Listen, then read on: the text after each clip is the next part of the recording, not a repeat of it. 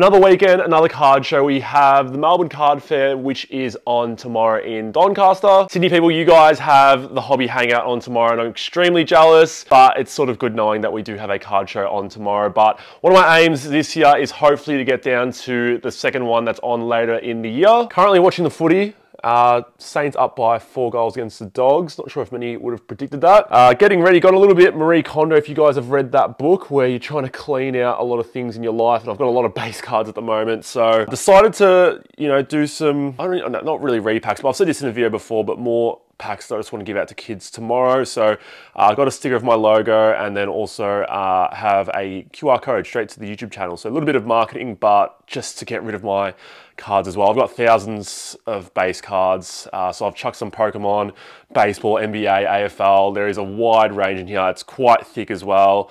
Uh, there's nothing special in here, but yeah, just want to get rid of some of these cards. I do want to set up at a future card show. I'm still deciding between the three card shows that we do have here in Melbourne. Just kind of weighing up in terms of the audience and maybe table costs and all that sort of stuff. I do also think it'd be really good content for you guys. I have been watching a lot of sellers perspective YouTube videos and it's really motivated me and inspired me to perhaps set up in the future. I don't know, I think I just have a bit of a fear of rejection, like everyone has that, you know, I'm gonna set up at, at a card show and nothing's gonna sell or something like that. It's quite irrational really. But yeah, just stay tuned for that. And as you can see in the background, I do like my sports cards relatively organized and I am working on a video about how I do organize my sports cards. All right guys, let's take you along for the journey. Look who it is, back from the dead recovered, mate.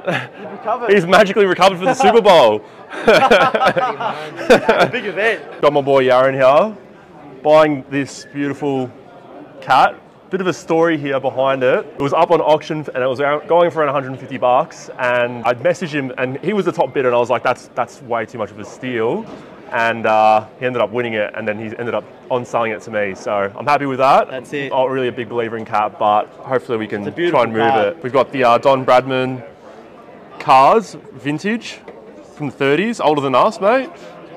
1932. Probably the oldest thing in here.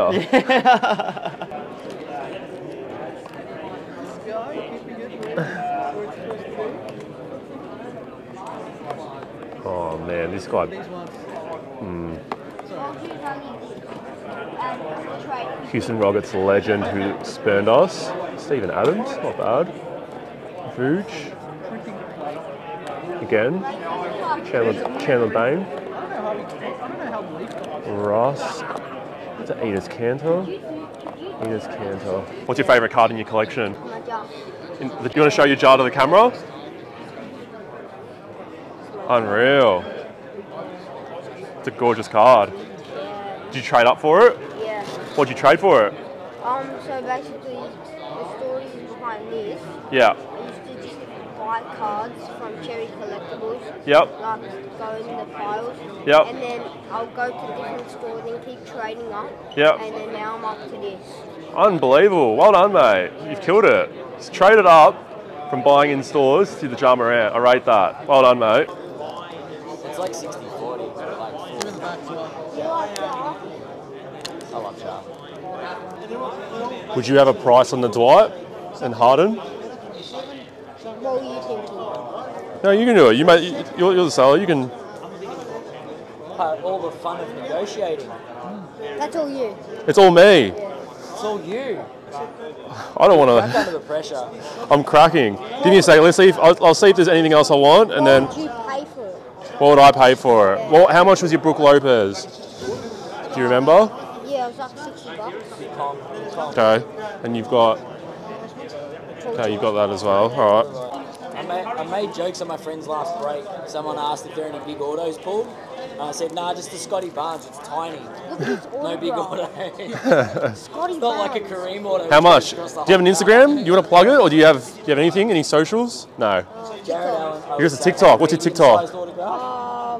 Who to Steph Curry? Hoops with Steph Curry. All right, make sure you go follow him on TikTok. Got two different people uh, going at him. You want forty dollars for that? Would you take it? No, I wouldn't take it. What would you counter at?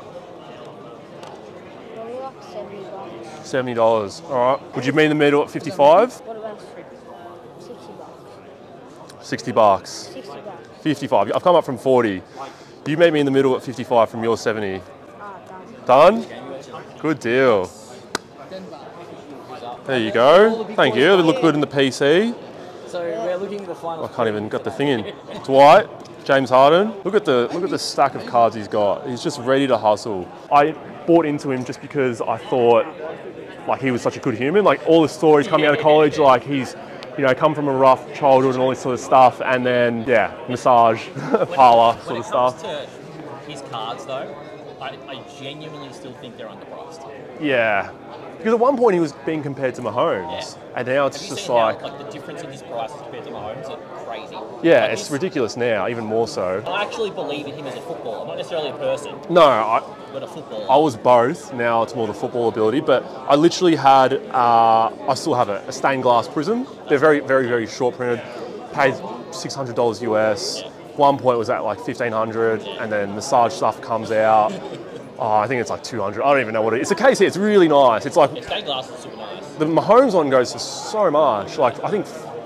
I don't know, it might be a long time ago, but I feel like it went for five figures at one point. I don't know if it still does now, but yeah, it's so frustrating. And he didn't look good last season. But again, he's had a year and a half off. Yeah, I was saying two years not playing. Yeah. I genuinely think by the end of this next football season, his card prices from right now where they are will at least be 2x what they are right now. Yeah, Like, I'm very confident in that. Yeah. They're so cheap.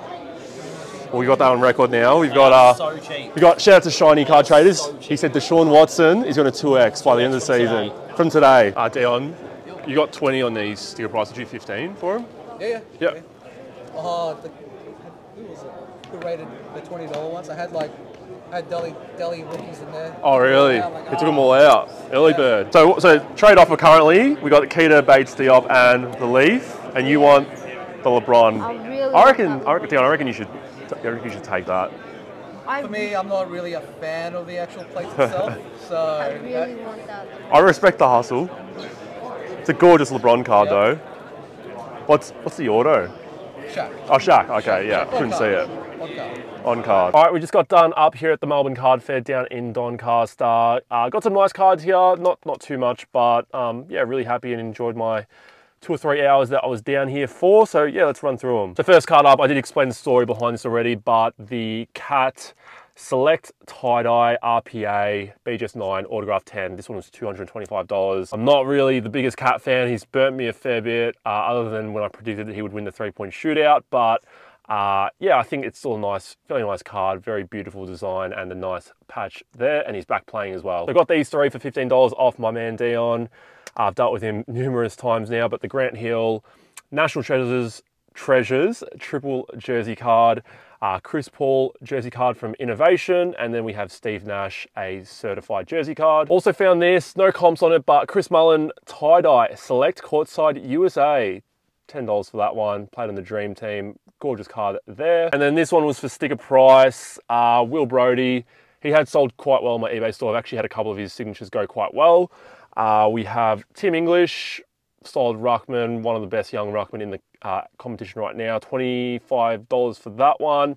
And then the one I'm most happy about actually, Andrew Brayshaw was pretty close to winning the Brownlow last season. Future Four signature, not his main signature that everyone goes for, but $100 for that one I thought was fairly solid. Uh, and I think it's the platinum one as well because it is 004 out of 50. So yeah, I was really, I was really stoked with this one out of anything. I think anything, out of anything that I bought today, I was probably most stoked about this one. One of the better young midfielders in the game at the moment. And yeah, 004 out of 50, I think is a fairly, fairly solid purchase. And last card I did get was the James Harden Dwight Howard dual gold standard patch out of 25. Got this one from this little kid who I coined as the hustler. He was making deals uh, and respect to him. Um, but yeah, got this one for $55 cash in the end. Uh, the original seller who had this was selling it for $40, so he ended up making a little bit of a profit on it. He actually traded for this card, so I actually think he made it even more profit than that.